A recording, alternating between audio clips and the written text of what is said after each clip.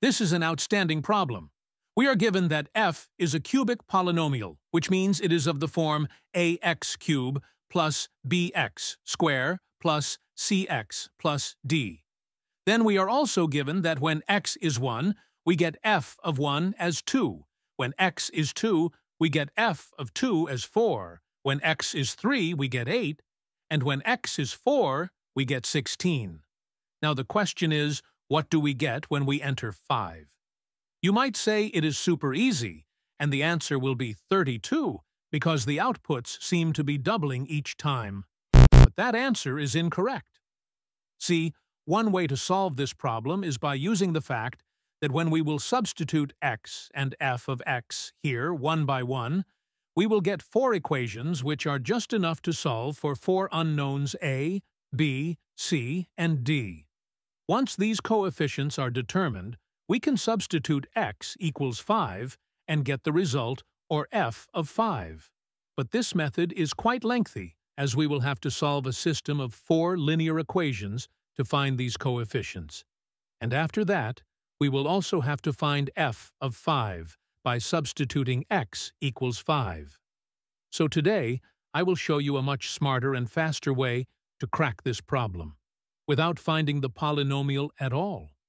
Let me show you what I mean by that.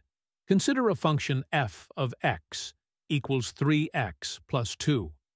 If you plug in successive values of x, like 0, 1, 2, 3, and so on, you will notice that the output will be 2, 5, 8, 11, and so on.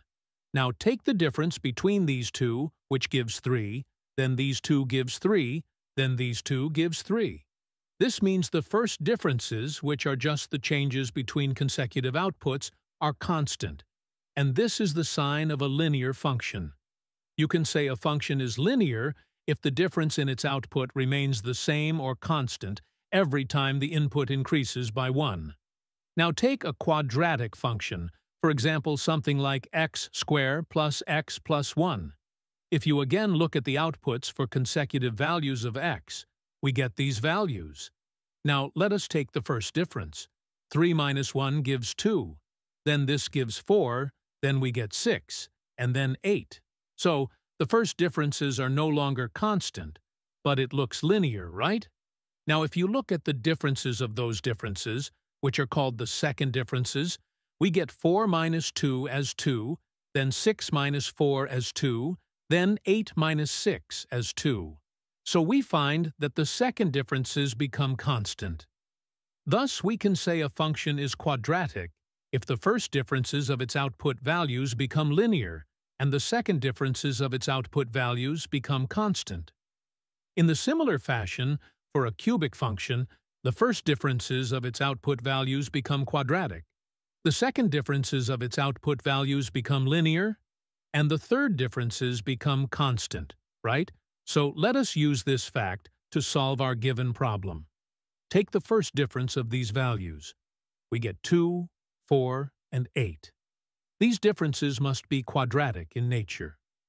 Now let us take the second differences of these values, and we get 2 and 4. These differences must be linear in nature. Finally, take the third difference of these values, and we get 2, which must be a constant. Now here comes the magic. Let us trace backwards. If this is linear with a difference of 2, then the next term must be 6, right? Now what will be the next term in this sequence? It will be 14, right? Because 14 minus 8 will give a difference of 6. So, what will be this term? It will be 30, because 30 minus 16 will give us a difference of 14, right? Therefore, the result, or f of 5, turns out to be 30. Oh my God! We have found this value without ever finding the actual polynomial. So, if you understood this technique, then let me know in the comments. What will be the value of f of 6?